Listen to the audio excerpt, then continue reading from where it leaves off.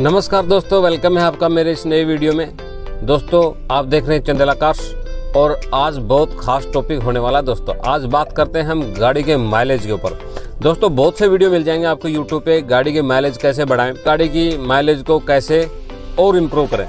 लेकिन दोस्तों, आपको किसी ने नहीं बताया होगा, ये दो चार टिप्स मैं आज आपको बताता हूँ। कि गाड़ी के माइलेज बढ़ाना अपने ड्राइवर के हाथ में होता है दोस्तों। कंपनी ज़रूर बोलती है, आपकी आपको इतना माइलेज देगी लेकिन उसको मैनेज करना या उससे थोड़ा सा ज़्यादा निकालना, ये ड्राइवर के ऊपर डिपेंड करता है। और ड्राइविंग जिसकी अच्छी होगी और ड्राइविंग जो टिप्स ये जानता होगा तो वो माइलेज बहुत बढ़िया निकालेगा और आपको आराम से ये गाड़ी अच्छा माइलेज देगी और आपको पता भी नहीं चलेगा, आपकी छोटी छोटी बचत करके आपको बहुत अच्छा लगेगा। तो चलिए दोस्तों, आज हम बात करते हैं कि गाड़ी का माइलेज कैसे बढ़ाया जाए या कैसे थोड़ा बढ़ोतरी की जाए। तो चलिए दोस्तों, बने रहे मेरे साथ। वीडियो को जरा भी स्किप ना करें, क्योंकि बहुत खास होने वाला है दोस्तों। और अगर आप इस चैनल पर नए हो तो आप इसको सब्सक्राइब कर लीजिए, लाइक कर लीजिए और हाँ बेल आइकॉन की बंटी को ज़रूर दबा दीजिए ताकि आने वाला हर वीडियो का नोटिफिकेशन आपको जल्दी से जल्दी मिल सके। दोस्तों, चलते हैं दोस्तों अभी रोड के ऊपर प्रैक्टिकल करके। आपको मैं लोकल रोड पे भी दिखाऊँगा और हाईवे पे भी दिखाऊँगा। दोनों पे आपको मैं प्रैक्टिकल करके दिखाऊँगा कि किस रोड की सिचुएशन में आपको कितनी स्पीड रखनी चाहिए, कौन सा गेयर चेंज करना चाहिए कब करना चाहिए जिससे आपकी माइलेज बढ़ सके। तो चलिए दोस्तों, अभी हम हैं एक लोकल रोड पे। और गाड़ी का माइलेज अभी कैसे चेक करना है और कैसे बढ़ाना है, उसके ऊपर एक, आपको मैं एक बहुत ही अच्छा फॉर्मूला बताता हूँ। दोस्तों, गाड़ी का माइलेज बढ़ाना ड्राइवर के खुद के हाथ में होता है, बढ़ाना है तो उसके लिए आपको कुछ नहीं करना। आपको नॉर्मली जिस गाड़ी का आपको पता है कि मेरी गाड़ी इतने स्पीड पे गियर चेंज करना चाहिए, जिस ड्राइवर को ये पता है कि मेरी गाड़ी का किस स्पीड पे कितना गियर चेंज करना चाहिए और उसी हिसाब से अगर आप गाड़ी का गियर चेंज करते हो तो मैं आपको गारंटी से कहता हूँ दोस्तों, आपकी जो एवरेज है वो बहुत ज़्यादा बढ़ जाएगी और आपको पता भी नहीं चलेगा। तो किस किस हिसाब से कैसे बढ़ाते हैं दोस्तों, अगर आपकी स्पीड कैसे लिमिट रखनी है वो चेक करने के लिए मैं आपको थोड़ा सा बताता हूँ। अगर आपकी गाड़ी का स्पीड 20 और 30 के बीच में है, दोस्तों ध्यान से सुनना कि आपकी गाड़ी का स्पीड 20 से और 30 किलोमीटर प्रति हावर घंटा की स्पीड है और आप लोकल रोड पे चल रहे हो, क्योंकि यहाँ पे आप स्पीड ज़्यादा नहीं चला सकते, क्योंकि यहाँ से आमने सामने से गाड़ियाँ आती रहती हैं और आपको साइड लेने में या ओवरटेक करने में थोड़ी प्रॉब्लम होती है, इसलिए आप स्पीड लिमिट पर ही यहाँ से चलें। तो यहाँ पर अगर आप स्पीड लिमिट के अनुसार 20 से 30 के स्पीड पर रहते हो तो आपको तीसरे गियर में गाड़ी को रखना है। तीस से ऊपर जाते ही दोस्तों, आपको गियर चेंज करना है, क्योंकि जो दोस्त गियर चेंज नहीं करते, उसी गियर के अंदर आप गाड़ी को दौड़ाते रहते हैं या एक्सीटर देते रहते हैं तो आपको ये प्रॉब्लम होगी कि आपको पता भी नहीं चलेगा और आपका फ्यूल ज़्यादा खर्च होगा।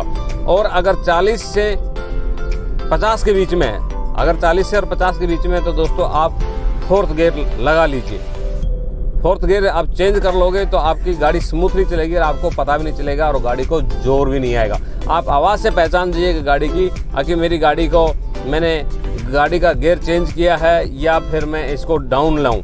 तो ये आपकी गाड़ी से अनुभव, आप प्रैक्टिकल समझ जाएँगे और कि आपकी गाड़ी का एवरेज अच्छा भी आएगा। तो दोस्तों, अगर 50 से 60 50 या 60 से ऊपर चली जाती है आपकी स्पीड तो आप वहाँ पे फिफ्थ गियर लगा लीजिए। दोस्तों, ध्यान से सुनना, वहाँ पे आप फिफ्थ गियर शिफ्ट कर लीजिए, ताकि आपकी गाड़ी अच्छे स्मूथली चले और आपको एवरेज बढ़ाने में आसानी मिले। दोस्तों, ये था गियर चेंज करने की स्पीड की लिमिट आकि आपको किस स्पीड पे कितना गेयर चेंज करना चाहिए या शिफ्ट करना चाहिए, अब मैं आपको बताता हूँ दो चार और बातें। दोस्तों, अगर आप ज़्यादा बार बार गाड़ी के ब्रेक का यूज़ करते हो, यानी नॉर्मली जहाँ ब्रेक लेने की ज़रूरत नहीं है और वहाँ भी आप ब्रेक लेने की कोशिश करते हो और आप के सहारे ही गाड़ी का स्पीड कम करते हो तो आपको वहाँ पे एवरेज अच्छी नहीं आएगी दोस्तों। दोस्तों, ये ध्यान रहे ब्रेक ज़रूर लेना है, लेकिन जहाँ आवश्यक ना हो, वहाँ कम लेना है। और ब्रेक ज़्यादा ले लेके आप गाड़ी को चलाओगे तो आपकी एवरेज में बहुत फ़र्क पड़ेगा दोस्तों। उसके बाद बात करते हैं गाड़ी के क्लच की। क्लच के ऊपर भी दोस्तों बहुत डिपेंड करता है गाड़ी का कि एवरेज निकाल पाए। आप जब बार बार क्लच दबाते हो और गियर शिफ्ट करते हो तो भी आपकी एवरेज में फ़र्क पड़ता है। आप स्मूथली चलिए हाँ अगर आपको ट्रैफ़िक है या आपको वहाँ पे लग रहा है कि मेरे को यहाँ गाड़ी बार बार रोकना चाहिए तो वहाँ पे आपको थोड़ा सा एवरेज में ज़रूर फ़र्क पड़ेगा, लेकिन जब आपको वो ऐसा लगे कि यहाँ पे आराम से चला सकता हूँ तो वहाँ पे आराम से आप स्मूथली गाड़ी को चलाइए, आपका बहुत अच्छा एवरेज आएगा और सबसे खास टिप्स जो अभी बताने वाला हूँ, ये मैं आपको हाईवे पे बताऊँगा, आगे एवरेज बढ़ाने का सबसे खास टिप्स क्या है, उसको सुनिए दोस्तों। दोस्तों, मैंने बताया कि आपको स्पीड के अनुसार आपने अपना गेयर शिफ्ट कर लिया, इसमें आप माहिर बन गए हो तो कोई दिक्कत नहीं। इसके बाद आप ब्रेक भी ज़्यादा यूज़ नहीं कर रहे हो, और आपकी गाड़ी फिर भी माइलेज ज़्यादा नहीं दे रही उसका मेन कारण मैं बताता हूँ।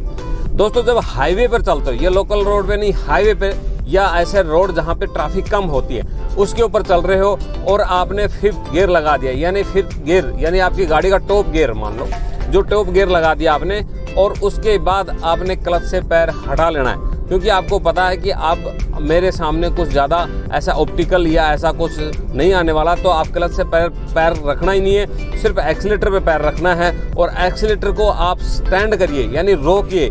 आपकी जो स्पीड लिमिट है, यानी आपको 70 चलानी है या 80 पर की स्पीड चलानी है 80 चलानी है तो आप उसके ऊपर स्टैंड करिए स्टॉप करिए। ये नहीं है कि आप कभी साठ ले आ रहे हो, कभी अस्सी ले जा रहे हो, कभी नब्बे ले जा रहे हो। तो आपका माइलेज कभी भी दोस्त अच्छा नहीं आएगा। आप गाड़ी को स्मूथली चलाइए। आप 80 की स्पीड चलना चाहते हो तो 80 की ही स्पीड रखिए। ज़्यादा अप डाउन ना करिए।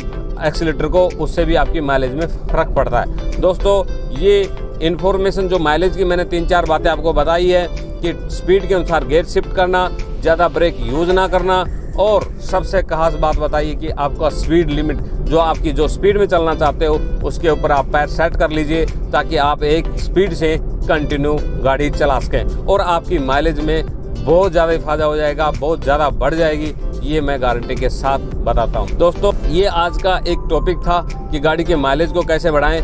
आप इस चैनल को सब्सक्राइब कर दीजिए लाइक कर लीजिए और शेयर ज़रूर कर दीजिए और हाँ अपने भाई को सब्सक्राइब ज़रूर करके रखिएगा। दोस्त, जय हिंद, जय भारत।